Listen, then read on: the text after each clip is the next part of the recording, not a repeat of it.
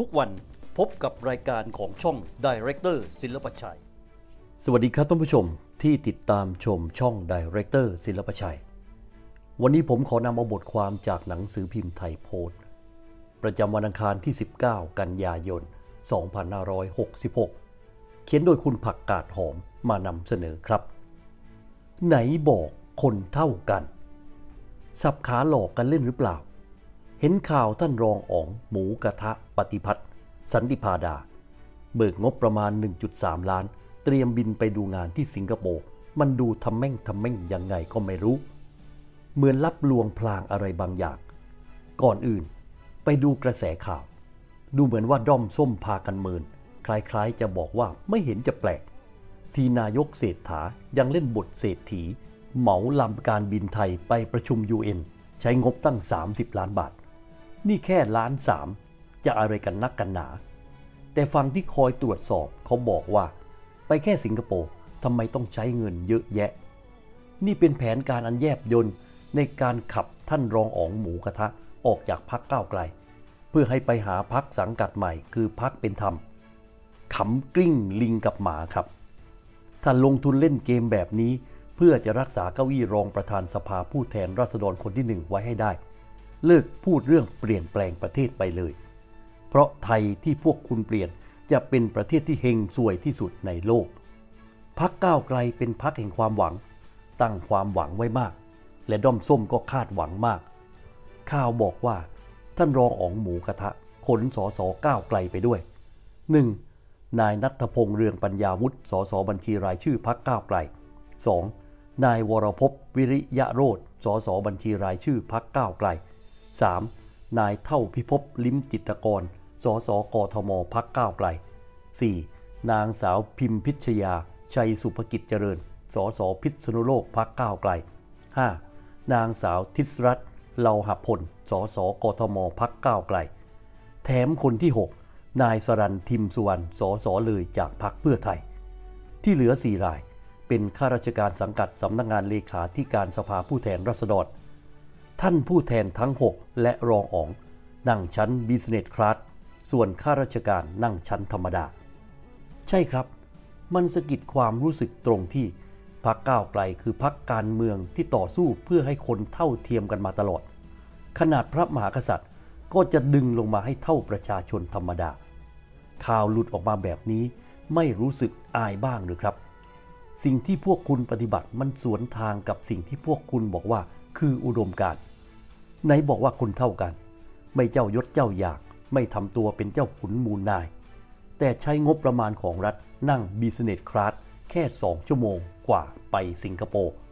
ถ้านั่งยาวครึ่งวัน เช่นยุโรปก็ว่ากันไป เพราะมันพอเข้าใจได้ว่าท่านผู้แทนจะเมื่อย พักผ่อนไม่เต็มที่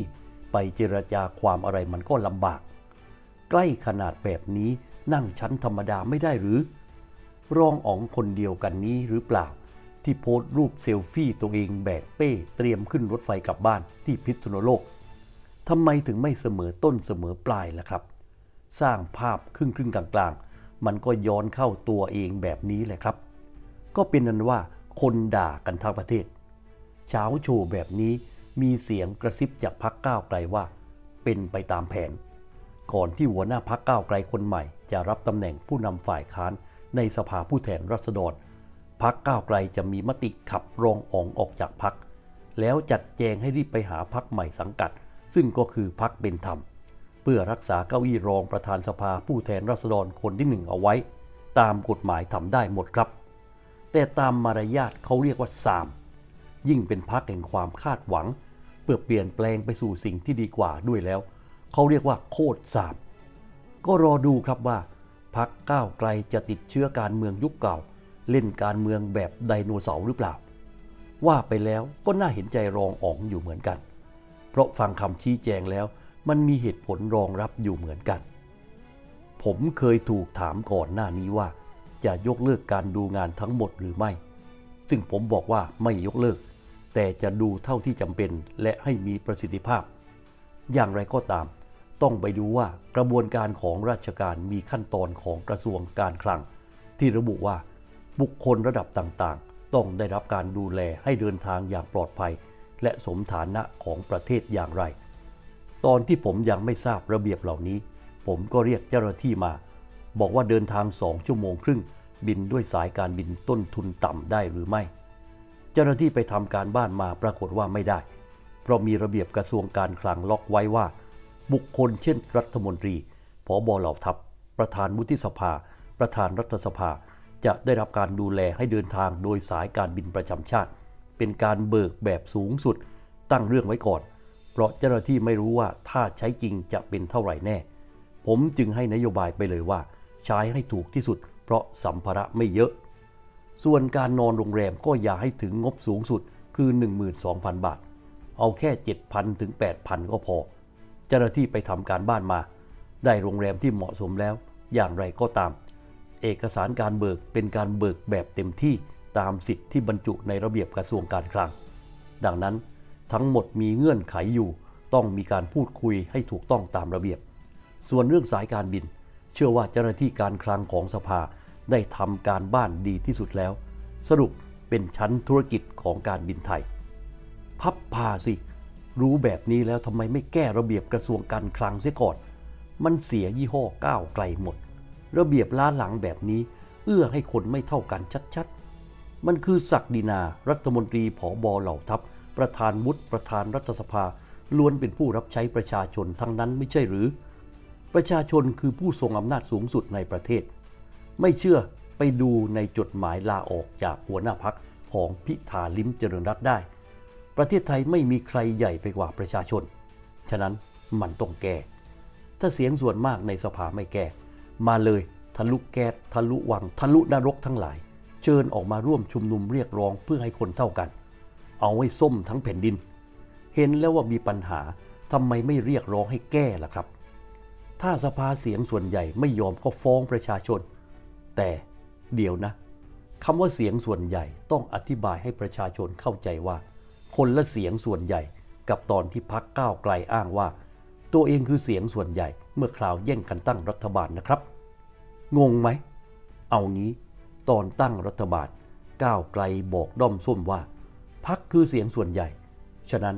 พิธาต้องได้เป็นนายกก้าวไกลต้องได้เป็นรัฐบาล แล้วตอนนี้ล่ะครับพักก้าวไกลยังใช่เสียงส่วนใหญ่หรือเปล่า ถ้าใช่ก็แก้เลย กฎหมายกฎกระทรวง รัฐธรรมนูญแก้ให้หมด ครับ ขณะเป็นฝ่ายค้านก็เริ่มย้อนเข้าตัวแล้ว ถ้าได้เป็นรัฐบาลจะขนาดไหน